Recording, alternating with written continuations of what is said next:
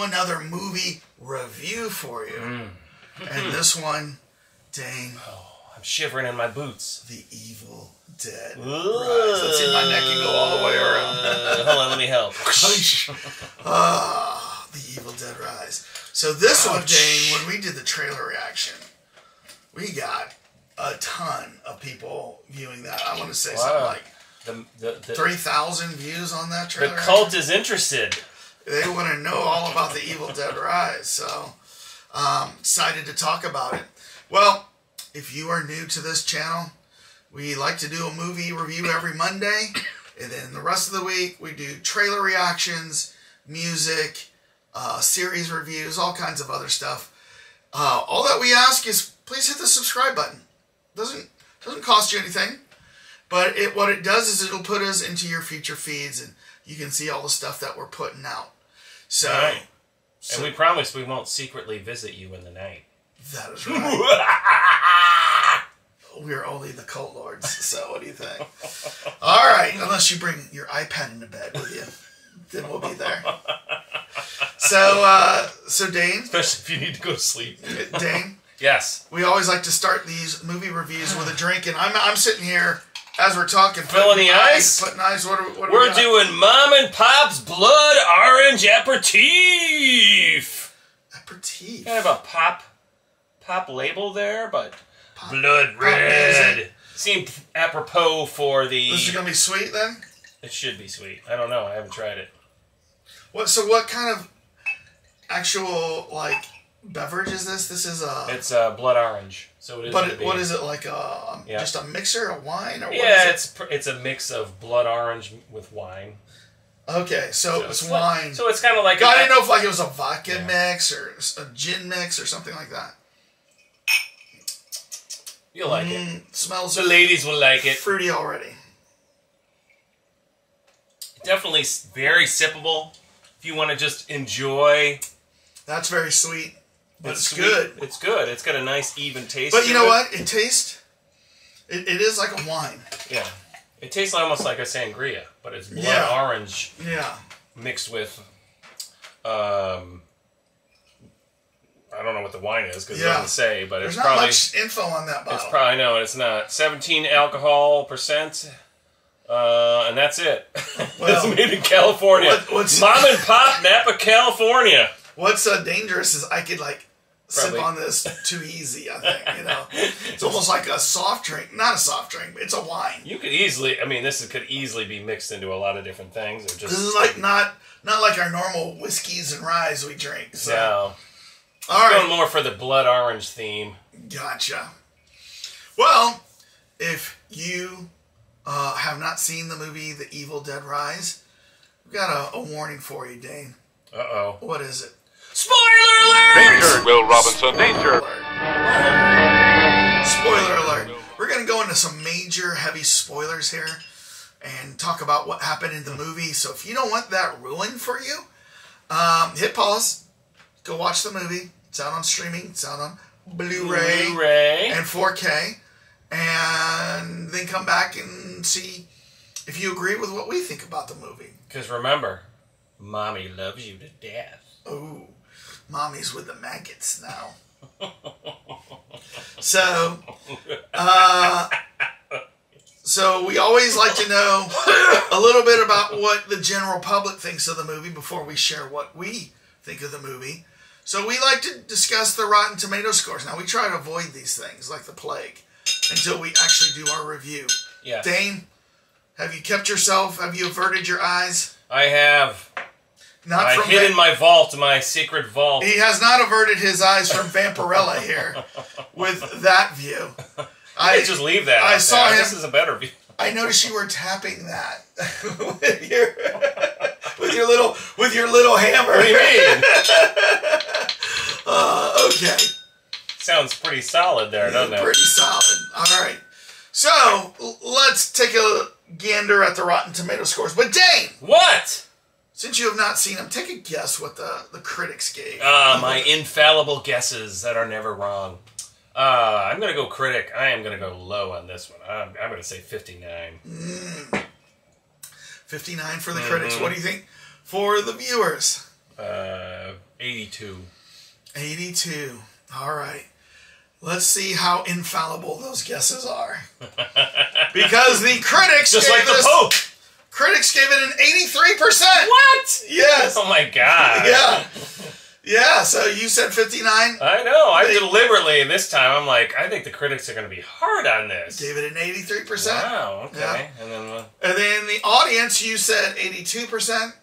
The audience gave it a 76. oh wow. Yeah. So okay, it was that. That's rare Yeah. that it's gone reverse like that. You that. thought the critics liked this more than you I, think? I was gonna think. I think you know in this particular movie, being that it's such a cult favorite, and you know we've got one of the Army Darkness comic books here, and if you guys have watched the original Evil Dead, and then the other Evil Deads, and then the Army of Darkness, I mean, there's a huge amount of cult uh, viewership on these particular franchise. So there was high expectations this was gonna properly fit into that echelon. But now, uh, you, you just reminded me of something. You talked about the Evil Dead two, 1 and 2, Mm-hmm. and then the Army of Darkness. Did you ever watch the Evil Dead series that came out on, like, I think it was I think I caught like like, Showtime or something. I think I caught one episode or something. So, I don't know. I watched all of season one. oh, and it was really good. And then I started watching season two, and I wasn't I wasn't as hooked as I was season one. oh But I think they ended up with three seasons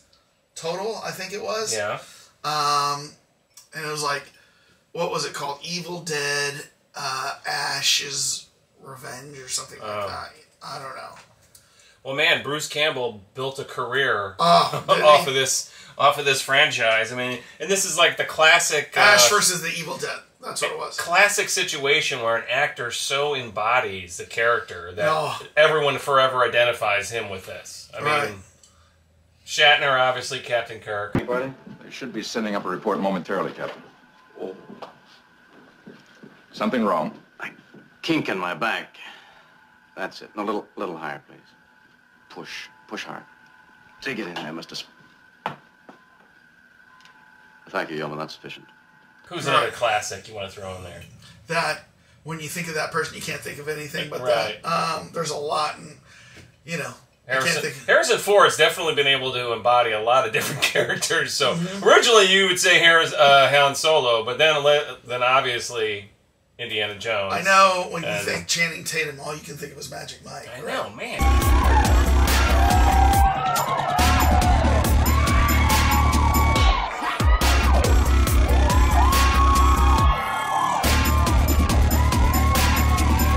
I cannot. That guy can't get out of that. Yeah, That's all I can think of. yeah, yeah. Oh wait, where are we? Okay. Oh, uh, all right. Well, now that we know what the the general public think, now it's for the important ratings. yes, the Cult Lords ratings. hand delivered. Larry from our accounting firm Toloit and Douche. Thank you for sponsoring us. Thank you for sponsoring us. Uh, we always appreciate it. Uh, if you ever need to get uh, any accounting done, go on the internet and look up Toloit and Douche. and, then tell us what you find because. Uh, all right, Cult Lords rating time. All right, Dane, get ready. right, here we go. On the count of three. One, two, three. Hmm. Bring Book of out more Bruce, 7.9. Yeah, Book of the Dead now on vinyl, Yeah. seven point six. Oh, yeah. All right. All right. All right. Well. Oh man, I did that again. Watch Crap. out. We Watch tried out. to lock that in the vault how many times? I know. I know. All right, so we both thought it was average to good, right? Mm-hmm. Um, and there was things I liked about this movie. I, I was like kind of dreading this movie, right? Uh, I don't know why. I, I just thought, man, this thing's gonna be bloody as hell. And guess what? I wasn't wrong. You didn't have to really guess too much. It was definitely as bloody as hell. It was. It was. And, and, you know, and I think that's where they like uh, tried to live up to the original franchise. But in this particular case, it happened very, very quickly, and it was Right. nonstop the entire thing. And- and they kept amping it up. there was zero percent campiness or comedy relief in this. right? Like you watch Evil Dead, Evil Dead 2, there's like some campiness. Right. Well, there's a lot of campiness in Evil Dead 2. And then, of course, Army of Darkness, total campiness. But Right. there, I didn't find anything like remotely funny or like bringing out a laugh in I this. mean, the only thing you could say is they tried to like maybe from a fan standpoint make you laugh when the eyeball got right in the guy's Yeah. mouth again. Yeah. you're like, you're like, oh, they did that again. Yeah. they're so cute. I didn't. I didn't find any comic relief. yeah, there was this. no. I mean, I Which could I, be good. I think the the mother was trying to be funny. Mm. But then it just turned out it wasn't funny. It was it was pure like gruesome horror. gruesome like, horror, Yeah, yeah. I mean, Yeah. they didn't. They needed a comedy writer, I, I- think, thrown into this. The only thing I, I kind of laughed about was in the very beginning when the earthquake happens and they drop their pizza. Um, you know, they go over to try to retrieve the pizza, and I'm like, I don't know if it would have like it was all like stuck. I know it was completely like messed up. Like I'm sorry, pizza's good in whatever form Yeah. it's in. You're gonna Yeah, eat it. yeah. No one's gonna throw away pizza. well, yeah, but I, that's the only thing I can think of. But Even if you're a number of spoiled brats, Yeah. man, do those kids grate on my nerves. Uh, yeah. So, you know, it does start off with that earthquake, and then, like, a vault underneath this apartment complex opens up. right. you know what I And that was cool. And- yeah. that was a great. I thought that was really. What was that place, though? It was a. It was a, a a vault that was a. I guess part of the former bank building that the priests had Yeah. stored. yeah. Because all that. Because that's right. There was that- that's right. It was part of a bank because there was a bunch of safety deposit boxes. Right, still in there, and I guess the priests had found it or something. And Yeah. they're like, "We're going to hide this in here Yeah. before it got turned into you know a condo or whatever." Yeah. But remember, the movie started Yeah. with the girl. Oh, the that's right. There was like a precursor to that. So it started very, very quickly, and I was pleased with that. I thought, oh, well, this is a nice way. Let's just start right away, harkening back to the original series, and then all of a sudden it turned into a whole other movie. Right. I mean, literally, then they tied that Yeah. beginning into which I thought was lame. Yeah. Right. So, well, we'll go into that at the end. Yeah. But yeah, I thought that uh, I thought it was good that they started that way because if they'd done it the other way, where you're Yeah. just watching kids, Yeah. because the earthquake didn't happen right right away. no, no, it didn't happen. It was all backstory. With, Yeah. Mommy was a tattoo, struggling tattoo artist, and Yeah. the kids were all, of course, The guy has the drone out there, out on the lake, and yeah, you know they had to use that, uh, you know, for some blood, right? I right. They needed like the they're- big kickoff with the guy's the head getting ripped off, yeah, and yeah. then. Yeah, And it, well, okay, so let's just talk about that whole storyline because they ended on that where you're like, well, where's this beginning got to do with the rest of the movie? And then you find out that that woman's been in some part of the building that the Yeah. elevator had blood all over the place. Right. So how the hell did she? And the stairways, stairways were yeah, destroyed. it was like destroyed. so how did she get down there? That's a good point. I didn't think about like how did she get down there and she's not alarmed by anything? Like, Right. oh, we're gonna go on this vacation and you're gonna come with us. Yeah. Yeah, It was like and everybody like in on the one floor is like massacred. You know, she might have been on a different floor, but she still has the elevator with blood. Right. I mean, it, Good point, That Dan. would just seem like what was the? It was like they boxed themselves into a corner, and I'm like, Yeah. well, we can't. You know, they should have had her interacting, or something should have been a little bit more obvious. And then she, of course, so that was one thing they did. They, I guess, declared in the end after you've shredded all the bodies up. Yeah, yeah, the demon is just floating around, waiting for somebody to take a, it. You know, yeah. Welcome It's it, waiting for the the next cue. the next victim. Yeah, where can I respawn? Where can I respawn? Oh, here's somebody. Bam.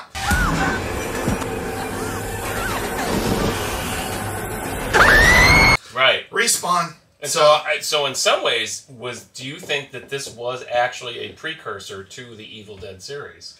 It could be. Because that's where it was in the cabin in the woods, right? Right, right. The thing is this though. How would she have gotten the Book of the Dead Exactly. to the cabin? I know they didn't explain that so part. it, yeah, if, if this is supposed to be a precursor to that, then Mm-hmm. there's they're taking a lot of liberties. Liberties with you just assume because But- she was there and they never showed it in the cabin. Right. Well, let's go back to this earthquake. All the boy goes down. He finds all this thing, you know, interesting. So he's loading Right. up his backpack. He grabs a bunch of records. There's like pictures of priests, you know, and you're kind of filling in some of the backstory. And then he finds the book, Dark, dusty thing that he the book of the dead, him, right? Yes. So he takes it up. But Claws. what I have to say is the when he put on the record, Mm-hmm. which I'm surprised that this kid had a record player, but he had a record player. He was a DJ. yeah. Oh, was he? Don't you remember he was DJing? He was playing his music. He was playing. Oh, I looked that that's song right. He's playing LCD Soundsystem, and he was like Oh. Listening with his thing. And he's like, "Oh, this is cool. I can go backwards with it." You know, it's Right. like. So they they set that up properly. I All think, right. You know. So, So, go ahead. he, he puts in the record, Mhm. and to me, the scariest part of the movie was listening to this record. Right. I thought, like the voices, and there were sounds and screaming, and the guy's like, "Oh no!" You know, we, Yeah. we made a mistake. You know, and blah blah blah blah. Right. Well. right. Come on.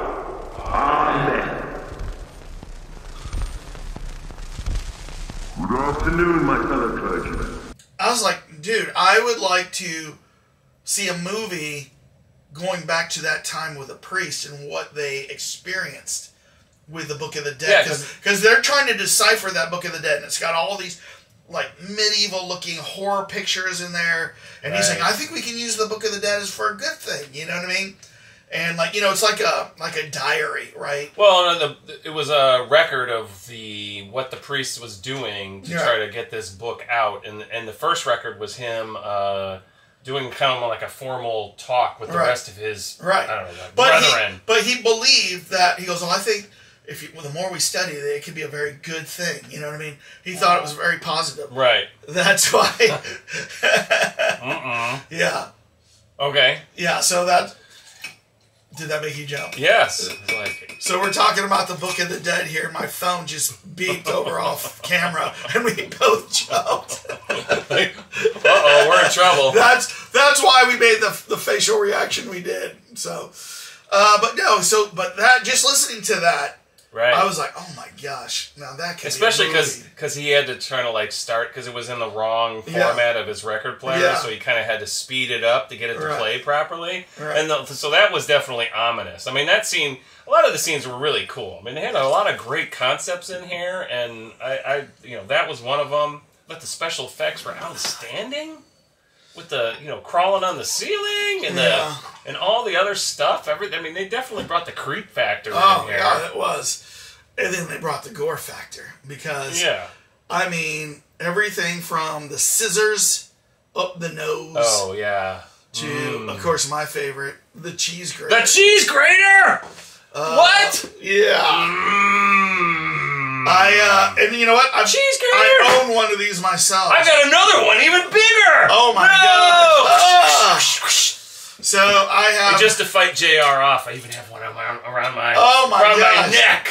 uh, cheese grater around the neck. Yes. Oh my so god. in case you're like close by, I can fight you off with the cheese No, grater. I once, like in high school, my mom was like making tacos, and she was like, I can't even believe you could touch that. Go ahead. well, because I own one and, and I know how to use it. But well, what happened was she said, Jr., you know, I got this big block of cheese. Could you grate the cheese for the tacos? So I'm over there, like, like I think I was doing something and talking and watching TV, and I'm doing this, and my knuckles went.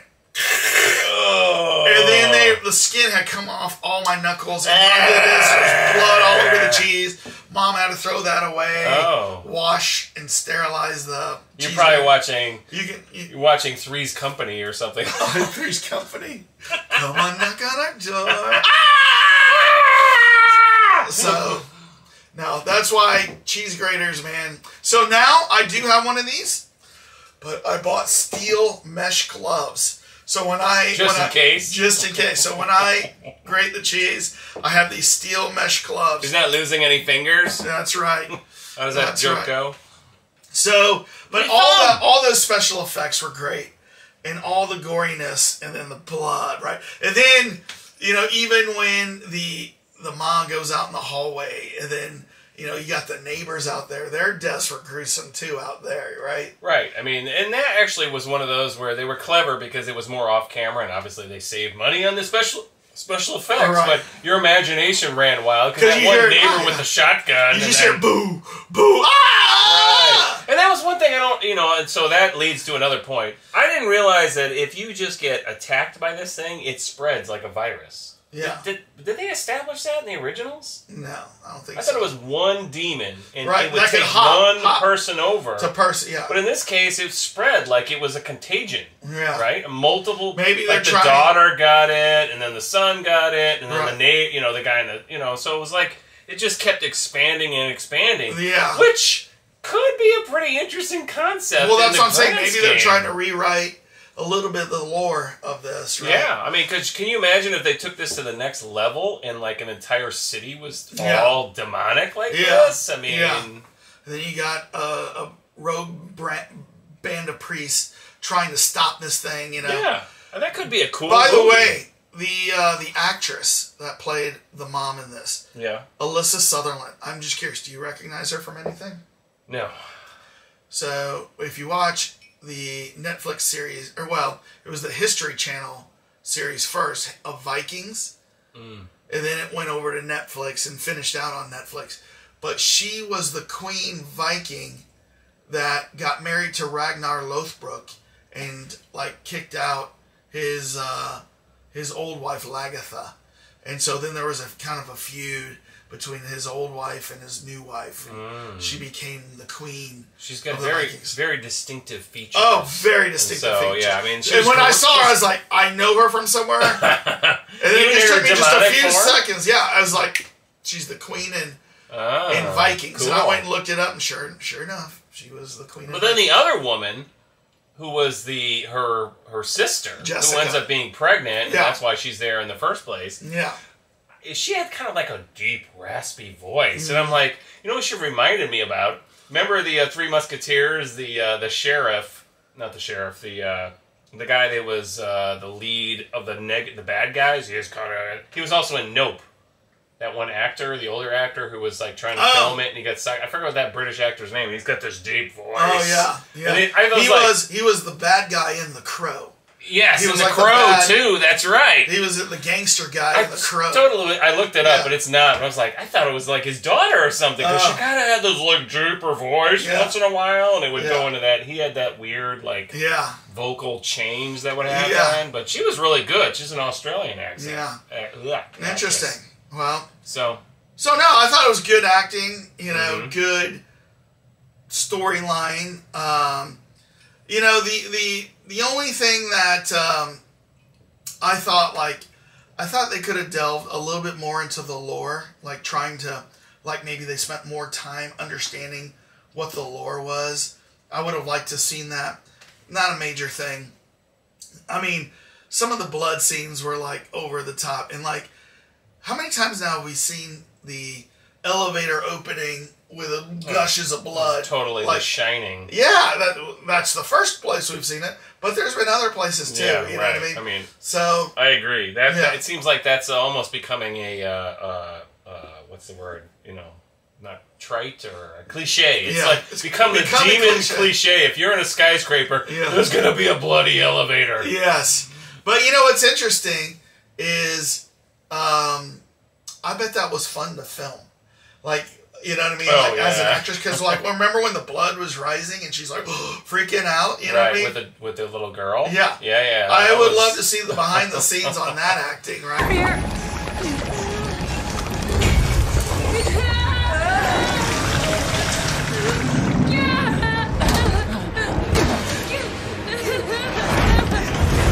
They're probably on their knees in there and just Oh. pretending like they were drowning or whatever. But that, know. yeah, I agree with you. That was that was a well done scene in, Right. in this particular context.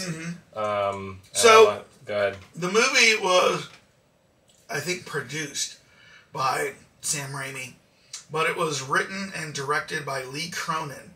Mm. Now I went to look to see who's Lee Cronin. I didn't recognize anything he's done.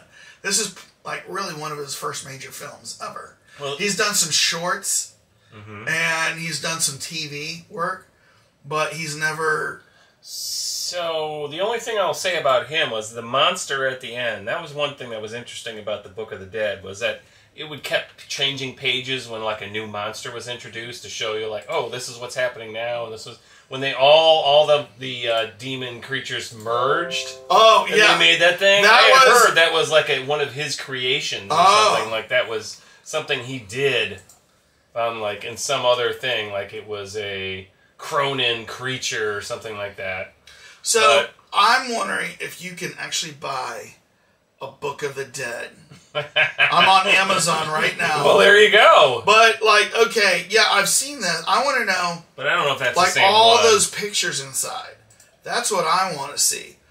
So yeah, they've got a prop that looks like well, Well, see, this looks like this is from the original. this is the original. Yeah. I want to see the, ins- new one? I want to read that book. Because that one had the, the claws on Yeah, it on the yeah, end, and they had yeah. to like he had to prick the claw. Or when the book got some of the kid's blood, it all of a sudden opened up. You know, Right. almost like a uh, Venus flytrap type of scenario. Right. Oh, look, I can also buy Hellraiser's puzzle box. Oh, all kinds of stuff Don't- you can buy on Amazon. Don't pierce your blood. So, Yeah. I mean, the movie did a clever job of trying to combine a lot of things and pull things from other things. Like Right. blood opens the book, and Right. I really wish they had gone more into the vault.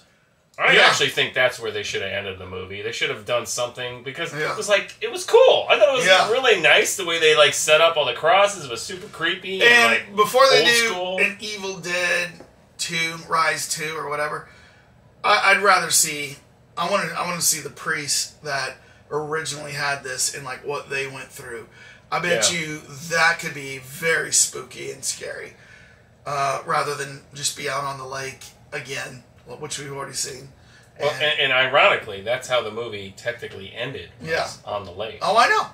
So I know. which was But- at the but- beginning. So that means they're totally setting it up for the next movie is going to be out there or doing it. By the way, uh, the kid had the drone. You know what I mean? So the opening is you see you're going through the forest. Oh, like this, yeah, right. Which did you think for us? You know, you thought that was the demon. You thought that was the demon. Yeah, because that's how the demon moves in the the original movies, like through the woods and stuff. Right. And it ended up being the drone. They were clever in how they started the Yeah. movie. They just Yeah. was stupid how they tied it together in the end. Yeah. Did you, by the way, catch the Bruce Campbell Cameo. reference? Oh, Yeah. reference. Can't. Well, I guess it's technically a cameo I don't know. Because I kept looking for it visually. And Uh, I'm like, you know what? Was I, he? I wasn't looking for it, so I don't think I saw it. Oh, so he does make an appearance. The only thing he does is on the record when the priest is presenting his we needed to study this blah blah blah somebody else like the head of the order pipes in and says that's an abomination that's bruce campbell I seek church approval to translate the spiritual mysteries its pages undoubtedly hold. It's called the Book of the Dead for a reason. so he does make a really tiny small appearance in this just to keep the continuity going but that's it he never visually appeared anywhere which he could have he could have easily played the old guy that gets killed in the hallway or you know Uh, maybe they like just that. totally wanted to stay away from, you know, doing Separate. that and separate this. yeah What's your favorite? Uh, do you have a favorite Bruce Campbell as Ash line ever in any of these movies? uh, this is my boomstick Okay. All right, you primitive screwheads, listen up. See this? This is my boomstick. It's a 12 gauge double barreled Remington. S Mart's top of the line. Shop smart. Shop S Mart. Do you remember the one where he goes to the lady, first you want to kiss me, or first you want to kiss me, now you want to kill me? You know, he says, blow. First you want to kill me, now you want to kiss me. Blow. oh you, you don't remember that line? Was that Oh, an army and these are both an army of That's this a- is my that's a- boom boom yeah, stick Yeah, this was an Army of the Dead. And I actually saw this in the theater with Chris Smith, one of our viewers, yeah when we were in college. We both laughed out loud in the theater so hard when he said that. And we were like, we were quoting that for like months, that, that Bruce Campbell quote. It was so I mean, that was the great thing about Yeah. him is he could deliver the lines, Yes. and of course they wrote him some great lines. But to your point, this had no humor in it. There was nothing, zero humor in the entire movie. Yeah.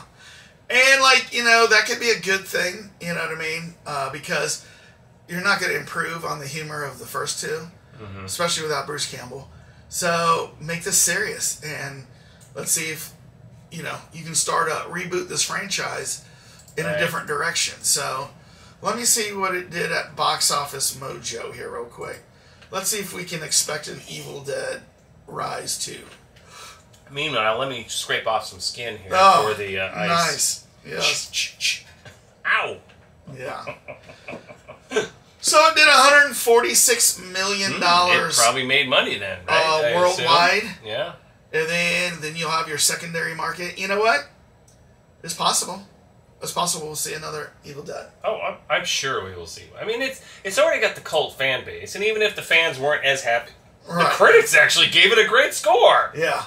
For some reason, these these horror movies, they they don't require the biggest of budgets. So, Yeah. you know, maybe 30, 40 million for I this, mean- and then you make 146. Right. I mean- Yeah. It's there's two two is coming out. And so. and the irony is CGI has made it so easy to put these together. You don't really. I mean, other than you're floating in blood, that that scene had to be real. There's no way they could have CGI'd that. Of course, there needs to be a uh, work stoppage uh, relief uh, uh, at, at time of time of um, filming. The writers are on strike and the actors are on strike, Yeah. so we might be seeing a lot of bottom of the barrel movies next year about this time hitting the screen. you know, the movies that we're going to go straight to DVD. studio execs furiously writing their own movies? I don't know. I, and, and this one, I have a feeling is going to go a while because I think both sides are going to dig in. So yeah. Well, we'll see. uh, you know, ultimately the writers and the actors are going to win because that's the one thing the executives forget. You can't create things out of nothing. And they've tried it with AI, but it doesn't make any. it- You have you ever seen one of those plays, the screenplays before, or heard about them? This is first generation they AI, make- though. yeah. This is this is one of the big reasons why the writers are on strike because they already see what Gen Gen One AI can do. yeah. What what can Gen Three AI do? Yeah. And will you still be paying the writers or having AI write a script? So all these things need to be answered, and I hope I hope we don't ever see movies based off of AI scripts. To be honest with you, that's the beautiful thing about movies is to see what people have created. I don't want to see what robots have created. So- Go people! Yes. Well, up with people. Ah.